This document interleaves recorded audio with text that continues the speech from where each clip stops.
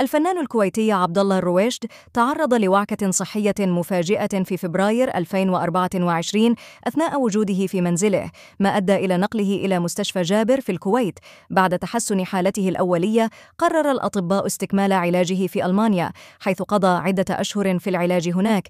خلال هذه الفترة، كانت عائلته وخاصة ابنته أسيل تشارك محبيه برسائل مليئة بالدعاء والتفاؤل عبر وسائل التواصل الاجتماعي. بعد رحلة العلاج الطويلة والتي امتدت لأكثر من ستة أشهر، أعلن أن الرويشد سيعود إلى الكويت في السابع عشر من أكتوبر عام 2024 حيث استعاد عافيته بشكل ملحوظ.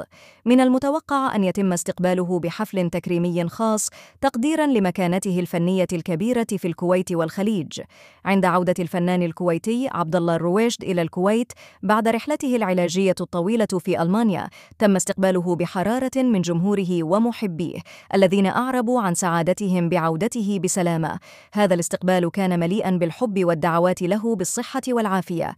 كما أعرب العديد من الفنانين مثل نوال الكويتية وأحلام عن فرحتهم عبر وسائل التواصل الاجتماعي وأشادوا بعودته بعد تعافيه من الأزمة الصحية التي مر بها. وكان من أبرز مستقبليه الفنان نبيل شعيل الذي احتضنه وقبل رأسه معبرا عن فرحته بعودته سالما. هذا المشهد أثر في الكثير من محبي الرويشد وجعل الاستقبال مليئا بالمشاعر القوية. عبد الله الرويشد عبر عن سعادته الكبيرة بالعودة إلى وطنه بعد هذه الرحلة العلاجية فيما كانت عائلته والفنانين الكويتيين والخليجيين على رأس المرحبين بعودته مثل الفنانة نوال الكويتية التي وجهت له رسائل دعم خلال فترة علاجه.